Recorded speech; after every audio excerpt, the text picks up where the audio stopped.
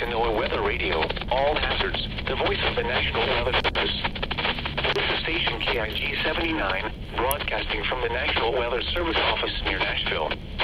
This broadcast is in cooperation with the Metropolitan Nashville Office of Emergency Management and the Tennessee Emergency Management Agency. The current time is 8:13 a.m. Central Daylight Time.